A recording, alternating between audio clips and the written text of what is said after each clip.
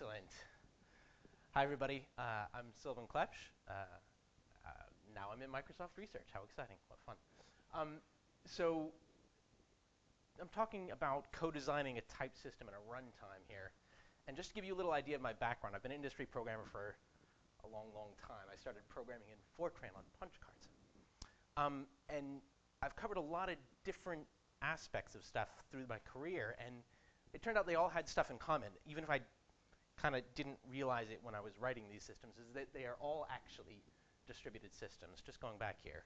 Electronic trading, video games, crypto tools, physics modeling, all this stuff. Even if I didn't know it, they're distributed systems. So the, things, the thing that I've been working on lately is this language Pony. So this is an actor model, capability secure native programming language. So I'll get into what all that means over time, but basically this is about designing a programming language to scratch my own itch. The programming language that I wish I'd had when I was writing all these tools over the last 20 years. So what is it? So it's an actor model, capability secure, general purpose native language. So that's buzzword bingo right there. Um, so here we have uh, the shortest program I could think of to write in Pony, right? So we've declared an actor. It's got a constructor. The constructor takes an environment. And then we send a message to an element in a field in that constructor, saying, in this case, hello, Cambridge. So what the hell is the point of all this stuff? Statically guaranteeing data race freedom is important not just for correctness, but for performance, right? All the runtime checks that we might do to get to deal with data races, we can get rid of. But we want to be able to do that with mutability. Now that's a little bit controversial, right? Because certainly we could do everything with immutable data types only, right? Haskell's shown us this.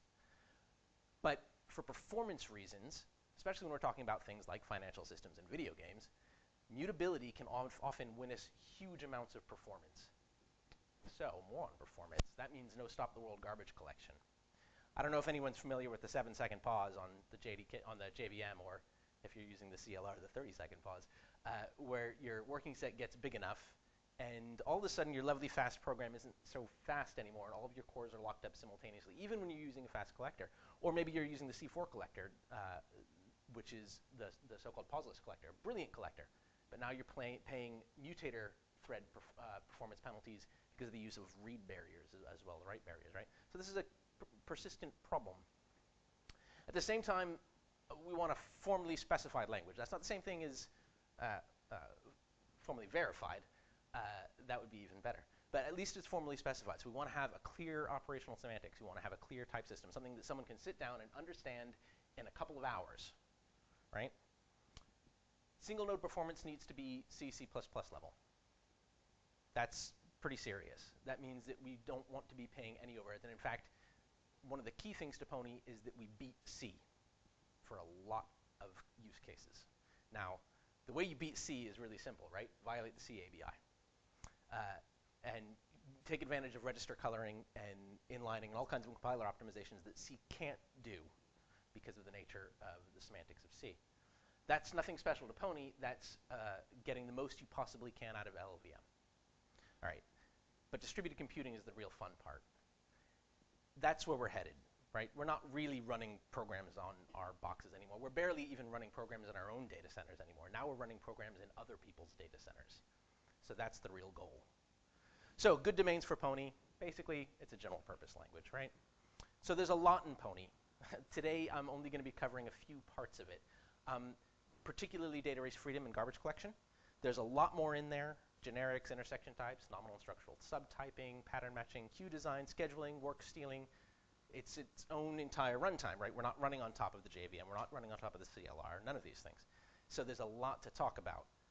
So if there's something you want to hear about that is not what I'm covering, jump in, speak up, let me know. I'm happy to switch bits of the talk off and talk about other things. If you're particularly interested in queue design, let me know. We'll talk queues. If you're particularly interested in work stealing schedulers, I'll switch over and talk about that. So let's walk a little bit through the example that I started with. Here we have uh, a variable, env. env is an immutable environment that you're passed when you, when you start up. So you've got your standard in, standard out, all those things. Now those come in through a constructor argument. That's interesting. It means these things are not globally accessible. There's no ambient authority in Pony. If anyone's familiar with the capability security literature, that means there's nothing that you can access unless it was passed to you, which is interesting. So, capability security. D just a quick hands. Who's familiar with capability security as a thing? Hey, that's a lot more than usual. That's awesome. So it comes back from operating system research in the 60s. And the idea is to say, instead of having access control lists that say, here are the roles that are permissioned for these identities, you say a capability, which is an unforgeable or possibly unguessable, depending on context, token, the possession of that token determines the operations that you can perform. Now, that's kind of interesting because much later, 20 years later, we get object-oriented programming. And you start thinking, wait a minute, there's not a lot of difference between a capability and an object. And in fact, as soon as you start talking about serious encapsulation rules and type system rules that can do interesting things like data race freedom, uh, object capabilities become capabilities. That's quite fun. So there are existing languages, this E, AmbientTalk, Caja, uh, that are extremely powerful and interesting, and Pony definitely uh, learns from them. But Pony has something that isn't in the existing uh, capability literature, and that's something called reference capabilities. So reference capabilities are annotations on types. So they're part of a type, but a little bit extra on the end there. And it talks about data race freedom, it, but it's not built in terms of what you're allowed to do on, on, an object, but on what's denied. So I'll get into that as we go. But one of the interesting things about this is that immutability, it turns out, is a derived property, which is awfully fun. So here we go. A little bit more on the actor model. Here, env out, where we said env.out.print, out is actually an actor that encapsulates standard out. So we don't lock to print to standard out. We send messages to the actor that manages standard out, and it will eventually, in a deferred way, write to standard out. So here we write hello Cambridge. Isn't that nice? All right, so actors have been around forever. Uh, in some audiences, this matters here. Everyone already knows this stuff. Uh, but it's interesting that so many concurrency mechanisms are actually very much the same. I think uh, Heather's talk uh, spoke to this, I, I, thought, rather brilliantly, that that a lot of these mechanisms are dual. Actors, CSP, uh, pi calculus, join calculus, they're all intertwined. There's something very special going on there, uh, and we've expressed it in a lot of different ways. So, going back to the example, why can we do that? Why can we send that string off to some other actor to print it out? How do we know that's safe? So, in this case, we're passing a string literal, right? So that's got to be fine. Well, why is it fine? It's because its type isn't string. It's string val. So val is the annotation here. And that means we have a globally immutable string. Globally immutable means uh, there are no writable aliases, so it's fine for uh, any actor to have a reference to it, because anyone can read it, because we know nobody's going to be writing to it. So that's good. We can send it off. There's no data references. There's no data races, and we've got a capability, a reference capability, that makes sure this is true. At compile time, no locks, right? Pony's entire implementation from the runtime level, from the, from the memory allocator, all the way through the GC, everything is lock-free. That's important. So, what about sending mutable data in messages? So here we have a TCP connection. This is an actual example from the standard library because it turns out you've got to talk to your network. And when you set up your TCP actor, what you want to do is plug in some code into that thing that gets notifications. But you want those notifications to come synchronously, right? And the reason you want that is, whoop, so you can drop your mic, is uh, for latency. If you start having all of your notifications become asynchronous, you can run into very serious latency issues, especially as you go through you've already gone through your underlying layer, epoll or kqueue or something like that, and you've, you've bubbled up through an event notification system so to some TCP connection management actor, and now if you start handling more and more messages down the line, and you're dealing with a scheduler who's trying to keep up, your throughput will be fine, but your latency will be miserable. So you want to pass this code in. So here we have a TCP connection notify ISO. All right, means it's isolated. That means that this is the only alias through which this object can be read from or written to, statically, right? Not at runtime, statically. So we can pass that in, and we know that it's safe, even though we're sending it to some other actor. We've sent it off. The connection is going to hold on to it. It's going to run that code synchronously, and we're guaranteed that that's safe. So uh, that isolation is another form of reference capability. That's interesting.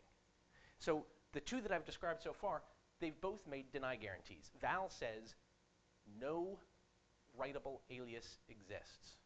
Hmm. Nice. ISO says no readable or writable alias exists, not counting the current alias, right? Other alias. So those are both deny things. That's interesting. So here's one called tag. And this is another example from the standard library. Here, we've got some timers. We're going to set them up. We're going to, and we want to be able to cancel them. Okay. So has, has anyone done um, uh, work with timers that need to be canceled, where you're dealing with millions of timers per second that, that on average are canceled before they fire? It's called network security. Yeah, so it turns out when you do intrusion detection, the number one thing that you do as workload is cancel timers. That's a very serious use case. So if you're going to do this, you need to have interesting things like hierarchical timing wheels and all this stuff. But if you start dealing with something where you don't have identity, you're going to have a cancellation problem. So here we've sent off this isolated timer to this timer actor that's going to be managing this hierarchical timing wheel. And it's got the data, but how do we get, how do we cancel it? If we have something where it's got to look it up or it's got to do something complicated, it can get quite slow. But here we can express identity with what's called a tag. Even though I send the only readable or writable alias over to this timer's actor to manage, I can keep an alias that is neither readable nor writable. It's opaque. That's what tag does. That's strangely powerful to have a reference to an object with which you can do nothing. Because then it turns out you have identity as a first-class concept in capabilities. You can say, this thing that I know about Go do something with it. You have the access to it, and I can tell you what it is. So, tag is compatible with ISO, right? We've denied readable and writable aliases. We haven't denied uh, opaque aliases. So that's quite interesting. It also means that we can send these tag aliases in messages. It's safe. If I have some mutable object and I send tags around to a zillion other actors to have, that's fine. They're never going to cause a data race. As much as I mutate this object, because then nobody's going to read through it. Quite fun. It also means we can use tag to type actors themselves. Uh, because an asynchronous message to an actor neither reads from nor writes to that actor. Because the actors themselves are uh, atomic, logically atomic behaviors. That's quite interesting. It integrates the actor directly into the reference capability type system. Fun. So Here's an example of that.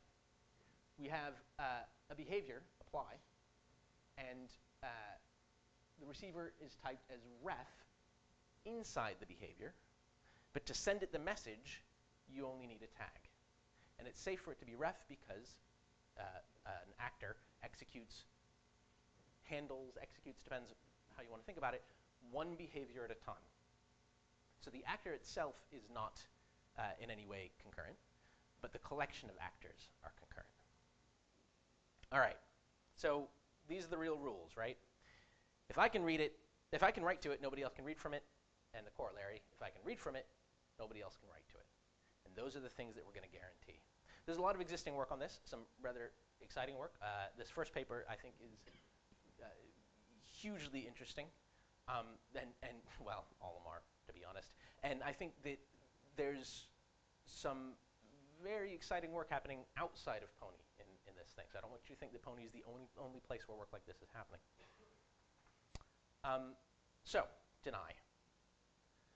Rel uh, denying properties turns out to be really powerful. I spent about a year and a half trying to formulate uh, a, nice expression of this as permissions as opposed to things that were denied, things that were allowed as opposed to denied. And I couldn't. And it turns out it's because there's a matrix. And here it is.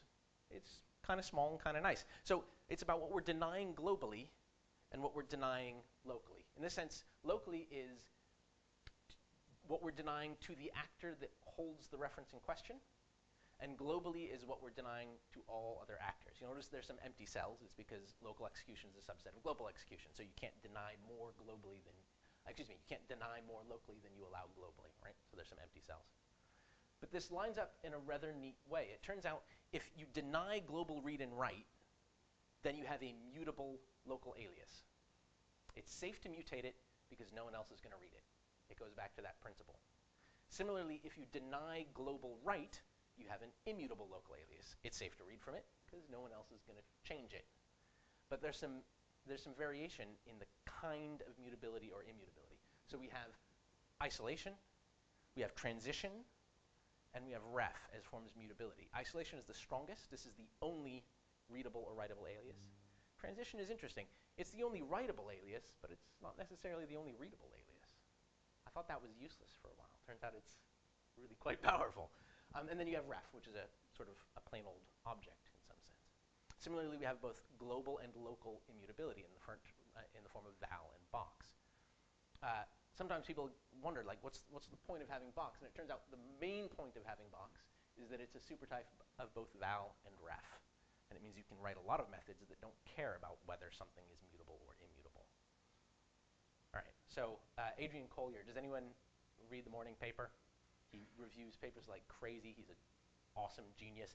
Anyway, he, he did a really nice write-up of the Pony type system, and I asked him if I could use his chart, and he kindly agreed, where he wrote out for himself, this is stuff that had never appeared in any of the papers or anything, he wrote out for himself a, uh, a compatibility matrix that's quite good. He nailed it, and the thing that I especially like about this is that he nailed something about box, which is very interesting. Box can have local read aliases, and it can, of course, have tag aliases like anything. But a particular box alias for some particular object will either have local write aliases or global read aliases, but not both. That's an exclusive or. And that's extremely interesting. Okay, so viewpoint adaptation. So it turns out that this stuff does actually get a little bit complicated as you start talking about, well, if I have an object, what does it, if I have a certain reference capability to an origin, what does it mean to read one of its fields? And that's what viewpoint adaptation is about. I really like this type signature. This is uh, from a map, and this is about saying, if we're going to try and read something out of a map with an apply function, we're going to need a key, but what kind of key do we need? We only need how some readable alias would see an alias of that key. That's what the bang is. Now this is quite interesting. We start talking about alias of. So we only need an alias of the type in order to find of the key type in order to find it. Similarly, it's going to return how the local object sees the value type. So if you have a mutable map, it returns how a mutable, a ref, would see the value type. If you have an immutable map, it sees how an immutable map sees the value type. This is quite fun because it means you don't end up writing both mutable and immutable versions of data structures. You write one version, and it's both. Oh, uh, interestingly here also applies a partial function, which is the question mark. So that's how exceptions work in Pony. Pony exceptions don't carry types or values. Uh, they're partial functions. This function cannot compute a result, and so it raises an error. So RCAPs, ephemerality, algebraic data types. Here we're looking at an update function, which is kind of fun. Um, now we need a real K, a real K if we're going to change the map. And we need a real K because we're going to put it in the map. So it's got to be, it can't be some view on a K. It needs to be K. Similarly, we need a real V to put in. Now here's a bit of fun. What are we going to get out? So here we have a union type. It's either going to be a V or we're going to return none if we're not going to take, get anything out. We're not going to raise an error because we were able to put something in. We just didn't have a previous value at that k. However, we also have a little hat on the v. That means it's an ephemeral v. This is quite fun. That's a v for which an alias has been destroyed. We had an alias to the v inside this map, but we guarantee we destroyed one of them in order to hand it back to you. And the compiler will actually make sure that happened inside the map.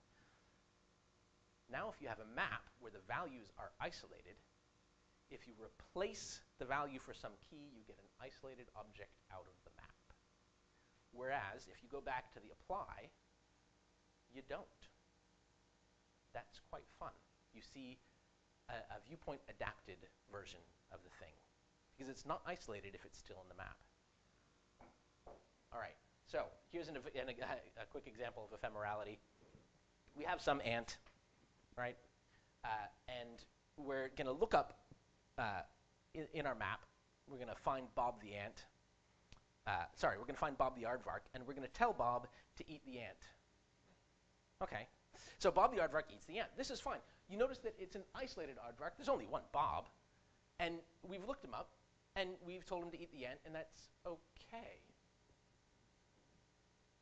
Because we only use the thing in an ephemeral context. Dot eat on the end of map Bob right? We didn't create an alias by binding it to some local variable name. On the other hand, if we do that, and we call Bob Bob1, we can't say that that's an aardvark ISO. Bob is in the map. Bob is not in our, in our stack. But what we can do is the second one.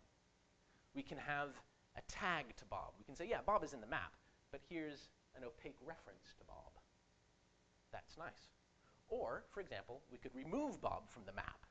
And then because we get back an ephemeral V, in this case an aardvark ISO ephemeral, then when we create an alias in the stack, Bob3 in this case, that's an aardvark ISO. Fantastic. We've pulled them out of the map, and we've done all of this statically. It's all compile time, no runtime checks. All right, so formalism at the root. Um, there's been a, a, really nice feedback loop. This has been a, fairly long process. I guess we've been going for about five years now. and the process of formalizing every bit of the language, the operational semantics, the type system, the garbage collector, has made the implementation of the language better at every turn. And I think that's kind of a fun and important result, uh, especially because I come from an industry background originally, not an academic background. Um, and for the academics, I think it's also fun there have been several occasions when the implementation has improved the formalism. Okay, just to prove that I'm not completely talking nonsense, that is the operational semantics. Actually, that's a mildly out-of-date operational semantics. And that is the type system, modulo algebraic data types. Uh, so, I've said co-designing a type system and a runtime, and so far all I keep talking about is this type system. I do keep mentioning little bits, like it being a lock-free implementation of a runtime. But now we get to talk about the really fun stuff, which is why does the type system result in a fast runtime? And it turns out static typing is good for performance. Yeah, it's good for correctness. We all love correctness. Correctness is good. If you can't get something correct, then there wasn't any point in doing it fast. But it's good for performance. So these are all things that are made faster by the type system, and I'm totally not kidding. That's a pretty awesome result to cover all of these core elements and make them not just a little bit faster, but often significantly faster because of the use of the type system, the knowledge of the type system inside the runtime. But I'm going to talk mostly about GC because it's hard. uh, and we want to leverage all this stuff to build a no stop the world GC, and that's the real trick. Building fast GC for a non-concurrent program running on a single core is hard, but there are several implementations that are extremely good. My, one of my personal favorites is the one in Lua. Is anyone familiar with Lua? Use Lua at all? Excellent little scripting language. Astonishingly good garbage collector for a non-concurrent program. But once you start talking about being able to GC shared memory across, for example, 128 core machines or 4,096 core SGIs, things get a little bit more tricky. So we're going to start with per actor heaps, which is like Erlang. Uh, and in that heap, we can use uh, a pretty straightforward garbage collector, mark and don't sweep, non-incremental, non-generational, non-copying, importantly, collector. We want to deal with fragmentation in other ways that aren't copying because the pointer fix-ups that are required for a copying collector become extremely problematic at scale. But we want to do this with no read or write barriers, no card tables, no pointer fix-ups, We want to never touch unreachable memory because we don't want to pollute the cache with anything that we couldn't reach. So we want, effectively, uh, when we say don't sweep, we really, really, really don't want to touch unreachable memory ever. So it's not just the sweep phase, it's in the mark phase. Never touch unreachable memory. And again, we're going to handle fragmentation with size class pooled memory allocators, right? That's going to be handled uh, without copying.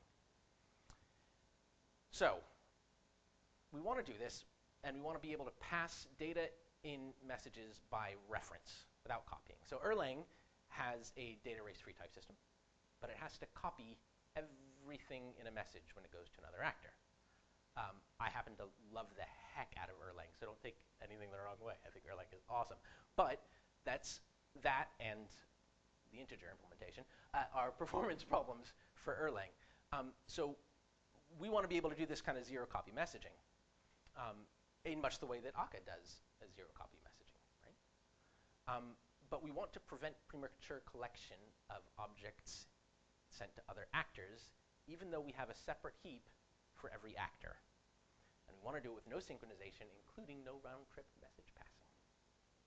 So, this is called ORCA. What does ORCA stand for? I can't remember. Ownership and reference counting for actors. Fantastic, thank you, Juliana. So basically, this is fully concurrent object GC for actors. Um, we also garbage collect actors themselves, which is quite interesting and fun, and I'll touch on that a little bit. So this is a variant of deferred distributed weighted reference counting. Um, just to be clear, just, just to be clear, uh, the shape of the heap has nothing to do with this, right? So when I uh, mutate the heap and create more references in the object graph, that's not what I'm talking about. We don't do any reference counting based on that because that's slow. Uh, don't get me wrong, there's some very, very interesting work on deferred reference counting to make that fast, but that's not what we're doing. Here, reference counts refer to messages. How many times has this object been sent, and how many times has it been received? And that's very interesting because effectively, all views of this object are going to be out of date with respect to each other. Every actor is going to have a different view of how many times something has been sent and received, and we don't want to synchronize that. So here's how it works. When an actor sends a reference to an object in a message, it increments its own reference count for that object. Uh, when an actor receives a reference to an object in a message, it decrements its own reference count for that object. And this is reversed if it was allocated on someone else's heap, right? So if it's allocated on a different actor's heap and we receive it, then we increment the reference count. If it was allocated on someone else's heap and we send it, then we decrement the reference count, okay? That all is uh, fine until I run out of reference count and I want to send the message. So Alice sends a message to Bob containing some, some data Alice, that, that Alice allocated. Alice ups the reference count for that data to 1. Bob says, fantastic, I received this. I'll up the reference count to 1. And now I want to send it on to Charlotte. But I can't, right? Now, there are times when you can, when you can guarantee you don't have a reference in your own heap. But in general, when you can't guarantee you don't have a reference in your own heap, you can't. So what we're going to do is we're going to arbitrarily invent reference counts, weight. That's why it's a weighted reference count. What we're going to do is we're going to send, uh, Bob's going to send a message back to Alice saying, I'm going to invent a whole bunch of reference count weight, uh, maybe a 1,000. Here's a message saying, invent a 1,000 references to this data. Without waiting for an answer, Bob turns around, uh, adds that weight to uh, Bob's local reference uh, count for the object, decrements it by one, sends it on to Charlotte. So here's the invariance on this. First of all, we have to be sure that the type system tells us there are no data races, or none of this will work. That's quite exciting, right? Because now we have this, the co-design element showing itself very clearly. You have to have a data race-free type system to do this. It doesn't have to be Pony's data race-free type system. There are others, uh, but you need one. Now we have a fun invariant, the local reference count for some address, plus the ORCA message count, that is, uh, in-flight increment and decrement messages for some object is always equal to the foreign reference count, what everyone else thinks of this object I allocated, plus the application message count, which is the number of application level messages containing this data in flight in the system. And this invariant is maintained without synchronization. That's rather fun. So the rest of these are, are good and important to go, but I, am just going to uh, flow through them a little bit in the interest of time. So why is this efficient?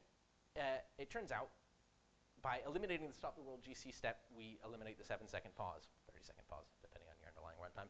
Um, GC messages are aggregated, they're cheap to send.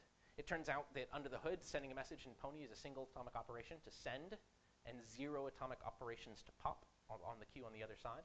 That means we're doing a message send in about 10 nanoseconds and a receive in less than one. So that's pretty good. On the humanized scale, that's like sub heartbeat. That's good. Uh, so we also aggregate them. It turns out that we're not always sending these messages right now. We can put together a bunch of messages and send them in batches later, and it's still safe. That's quite good.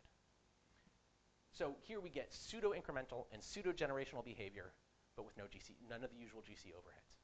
Every actor ind uh, collects independently with no knowledge of any other actor based on out-of-date topology views in an eventually mm. consistent system with no synchronization. Hoorah. All right, so we're going to use the same thing to collect actors. Here we go. We're going to figure out when an actor is never ever going to have work to do ever again. We're going to do it efficiently. We're going to garbage collect the actors. And we're going to use the Orca protocol to do it.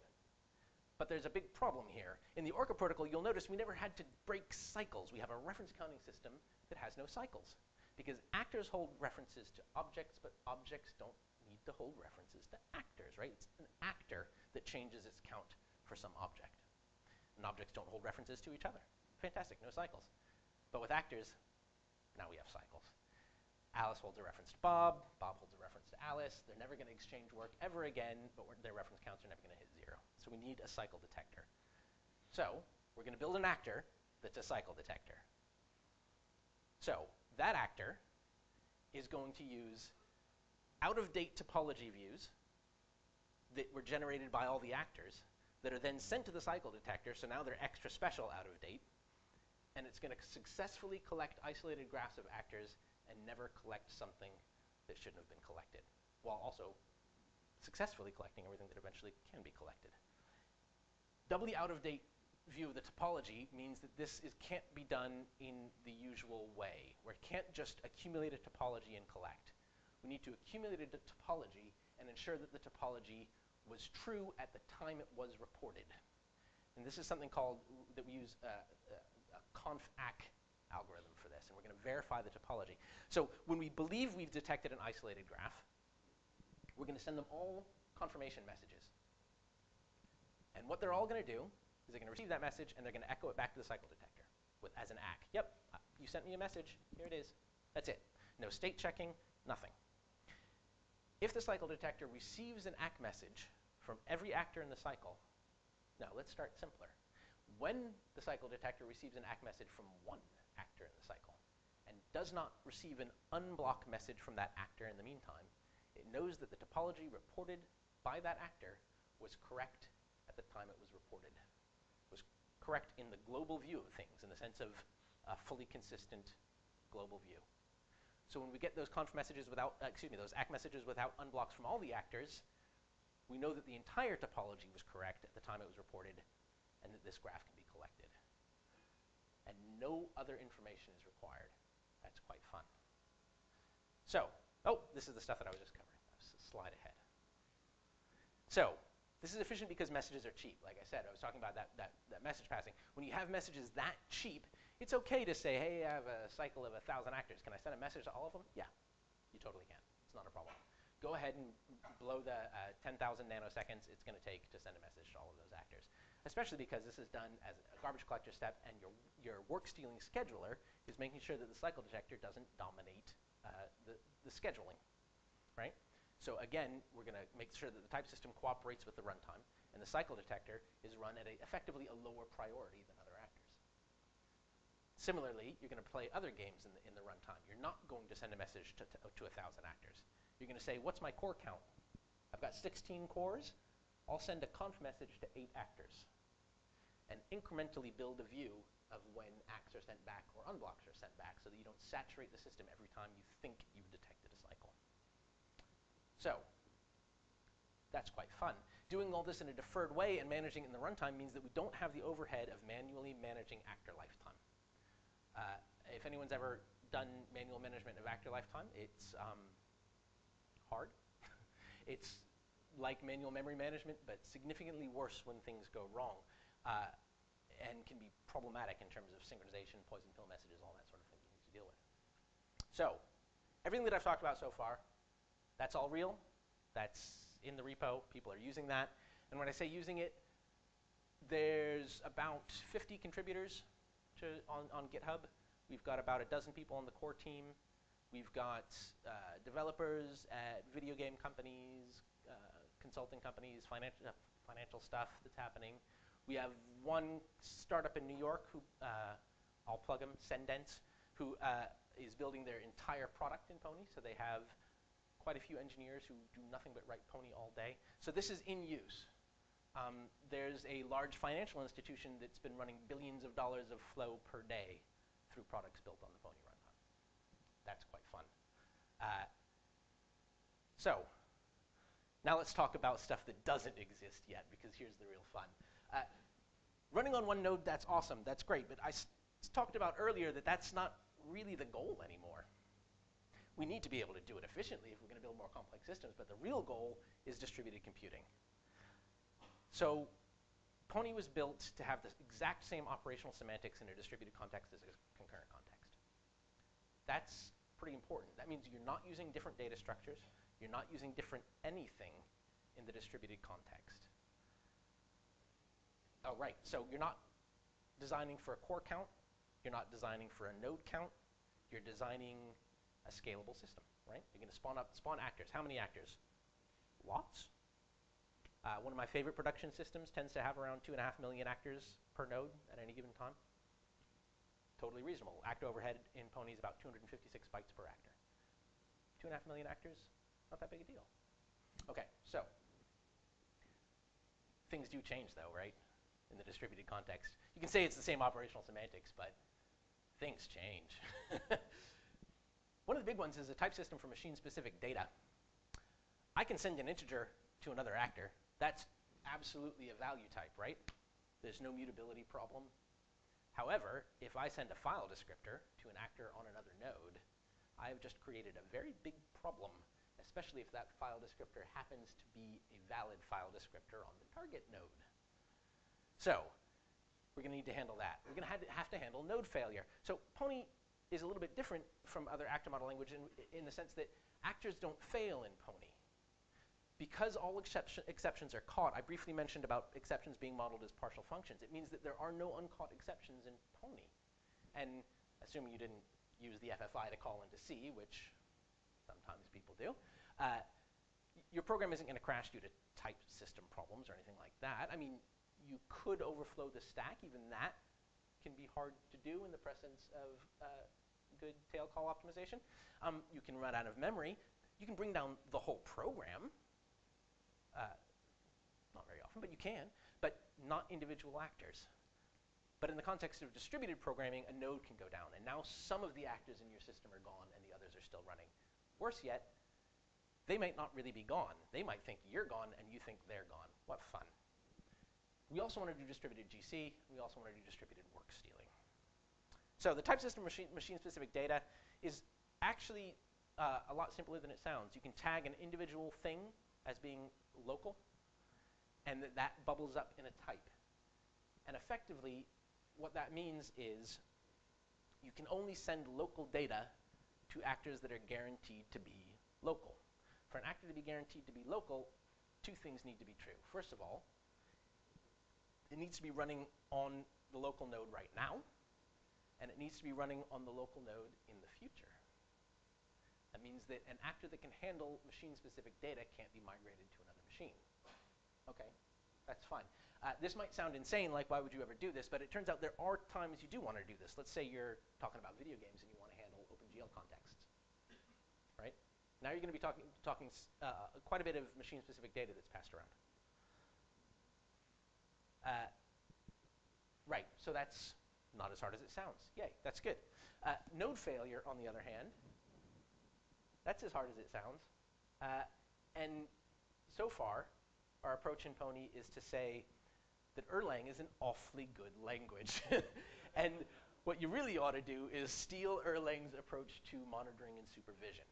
But instead of treating it at the actor level, which is what Erlang does, have it happen at the node level. Not in the sense that a programmer says, I want to monitor a node, because a programmer shouldn't know how many nodes there are in the system and until you might be doing a bit of detection at runtime to say you're looking for a node with a certain set of hardware capabilities. But other than that, you shouldn't really want to know. But if you monitor an actor, you want to be notified when it disappears uh, unexpectedly due to node failure. Last year at CodeMesh, uh, Joe Armstrong told me that uh, the Pony type system was, was really great, but it definitely couldn't protect against a lightning strike. And I think that's the most accurate description of distributed programming I've ever heard. Um, so that's what we're doing. Unfortunately, this also is problematic because it means that we're pushing off the entire problem of what you do onto the programmer when they're building the application. I think there's some really interesting research here happening, particularly in the context of projects like RamCloud and Farm, in terms of using NVRAM to build orthogonal persistence, which has been the sort of dream of actor model systems for 30 years uh, and has been a performance problem up until now. So that's interesting future work. Distributed object GC. Orca can run unmodified to handle distributed object GC. that's a sort of a big claim. but it turns out that it's about the type system. This comes back to co-design. If we're dealing with immutable data and we send it to some other node, it doesn't really matter if we garbage collect it locally. They still have their copy over there. That's fine. If we're dealing with isolated data and we send it to some other node, well, again, that's fine. They now have, because it's isolated data, they now have the one and only copy of that data. They can mutate it all they like. We can garbage collect our references to it locally. Everything is fine, except for identity.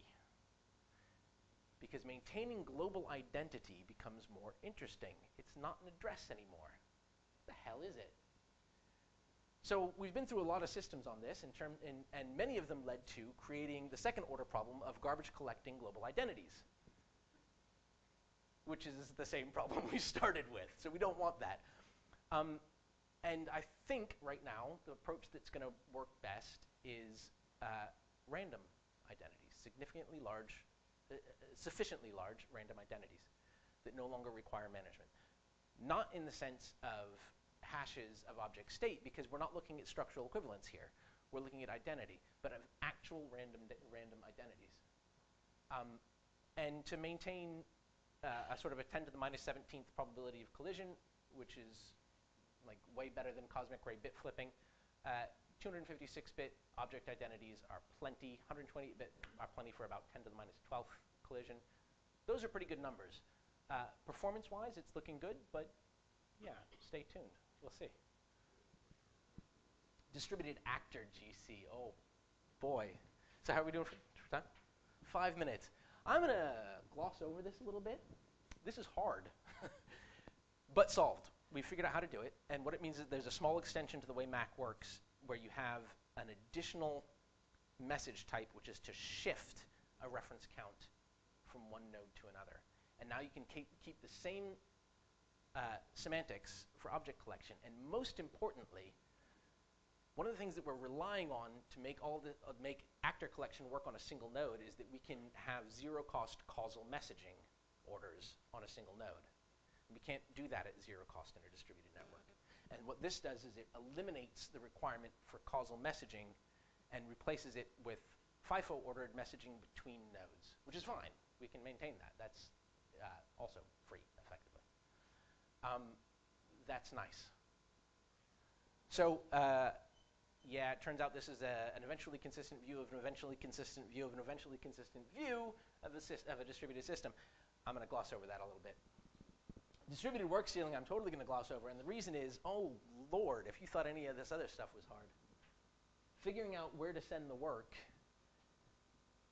and making that transparent to the programmer is hard. There's probably enough domain knowledge required to do that, that one of the things we're looking at, at now is programmable schedulers. Um, my favorite example of this is, let's say you've got a 10 gigabyte working set right? And uh, you want to, you're going to, you're going to screw up completely and not do what Heather suggested and send your, instead you're going to send your data set to some other actor. Or maybe you just want to migrate this actor to some other machine. Is that a good idea? Well, the 10 gigabyte working set is probably a terrible idea. Unless you're running out of memory locally, and exactly what you need to do is start scaling across machines in a cluster, in an auto-scaling cluster, and you're trying to grab hold of that memory and use it, in which case taking your 10 gigabyte working set and offloading it to a new machine in the cluster is perfect. That is exactly what you want to do. Yeah. Next slide. Yeah, so the future is distributed computing in my personal brain view of things. Um, and there's a lot of stuff in progress right now. We're working on formalization at Imperial, Sophia Drossopoulou. Uh, more work on the Orca protocol. That's Juliana, she's right there. Um, there was some great work on uh, RCAP interaction with algebraic and parameterized types. There's work on value-dependent types. Actually, the value-dependent type stuff is done, and it's going to land in the repo soon, which is fantastic. It means we have full compile time expressions. Um, there's a much more work on capability secure reflection. Again, working on some of the distributed object identity stuff. That's actually pretty much good. Uh, we had some interesting serialization stuff. That, uh, that's actually mostly done. Um, and yeah, so implementation work. There's a lot there too. So really, come get involved. Come have a look. We have a lot of contributors. We have a lot of people uh, contributing. I don't want anyone to think this is some kind of dictatorial language situation. Hell no. We have an RFC process. Uh, our runtime is used by an entirely different programming language called Encore, and to very good effect. So anyone who's interested in taking some of these concepts and ripping them out of Pony and using them for something else or contributing to Pony, please get in touch. That would be fantastic. All right. Thank you, everybody.